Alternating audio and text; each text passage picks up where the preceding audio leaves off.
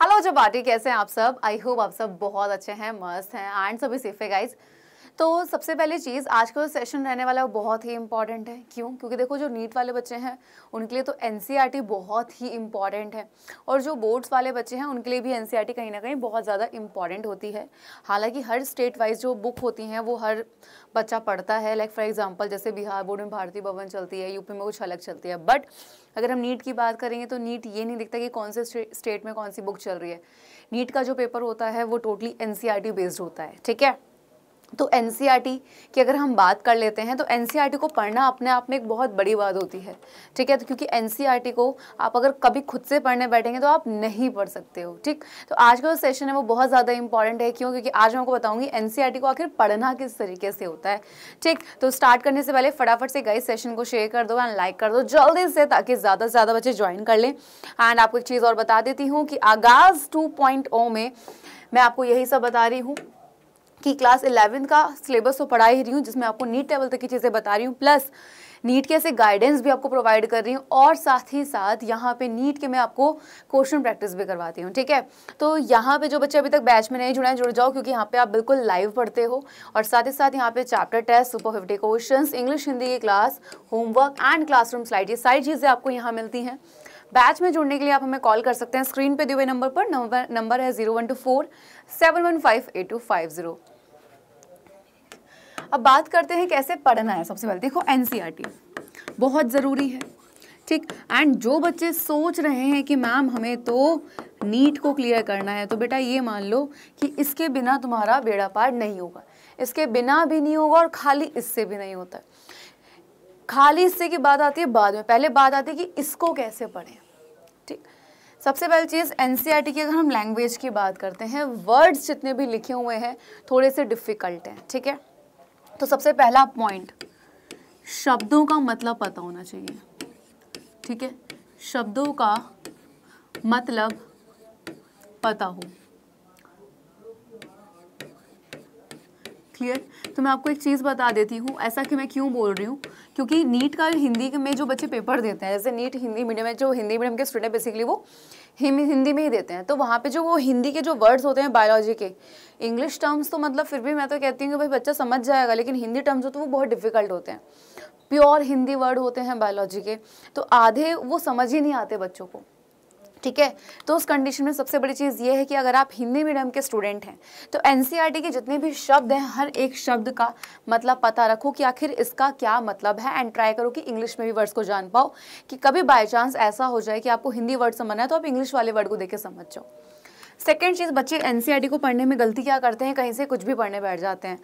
सबसे पहली चीज़, यहाँ पर आपको चैप्टर वाइज चलना है। ठीक है, जब आप चैप्टर वाइज चलेंगे चैप्टर में सबसे पहले स्टार्ट ही आपको परिचय से करना है। यानी कि एनसीईआरटी में जो पैराग्राफ दिए हुए हैं, आपको एक सिक्वेंस में चलो, ये नहीं कि उसको रीड कर रहे हो उसको रीड नहीं करना है। एक लाइन को पढ़ो, उसको समझो, इसने कहा क्या है?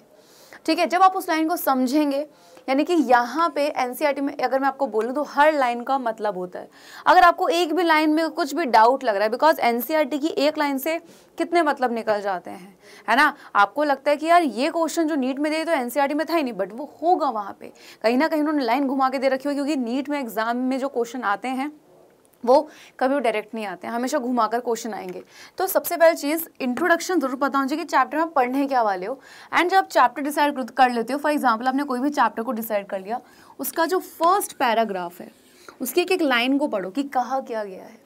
ठीक है? क्या वो लाइन क्लियर है? और ये याद रखना कि एन e को खुद से तब पढ़ना जब आप किसी से उस चैप्टर को पढ़ रखे हो। एन e को अगर आप खाली डायरेक्ट पढ़ने बैठ जाओगे कि फॉर एग्ज़ाम्पल आप एन e किताब लाए कि भाई मैं मैं नहीं पढ़ रहा, किसी टीचर से मैं खुद से पढ़ूँ, कुछ समझ नहीं आएगी ज़िंदगी में भी। हमेशा, जैसे फॉर एग्ज़ाम्पल मैंने आपको एलेवन पढ़ाया, है ना? कि बेटा मैंने जीव जगत का एलेवन पढ़ाया, ये ये पढ़ा दिया। अब जाओ एनसीईआरटी में कि भाई मैम ने हमें पढ़ा दिया है, अब हम एक बार एनसीईआरटी को देख लेते हैं।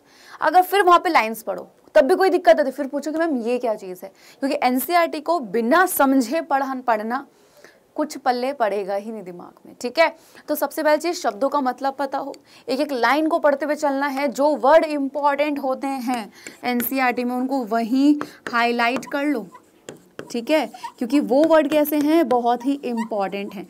एनसीईआरटी में ही अपने हाथ में रखो एक हाईलाइटर, उसको हाईलाइट कर लो कि ये इंपॉर्टेंट पॉइंट है, ठीक है? फिर रही बात डायग्राम की। कुछ डायग्राम एनसीईआरटी में गलत दे रखे हैं जैसे पादप शारी वाला एक चैप्टर है, उसमें दिया हुआ है। तो कुछ जो यहाँ पे क्यों बोला जाता है कि भाई आप टीचर से पढ़ो, क्योंकि टीचर्स आपको बताता है कि ये भाई ये नाम गलत लिखा हुआ है, ये लेबलिंग गलत हुई है, या फिर ये डायग्राम गलत है। तो वहाँ पर उन चीज़ों को पढ़ना बहुत ज़्यादा ज़रूरी है। तो सबसे पहली चीज़, शब्दों का मतलब पता हो। एन का जो भी चैप्टर उठा रहे हैं सिक्वेंस में पढ़ें।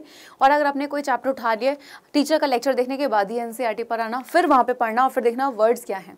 कुछ एन में कुछ आपको इस तरीके से दिए हुए थे क्वेश्चन मार्क करके। बताओ ऐसा होगा तो क्या होगा?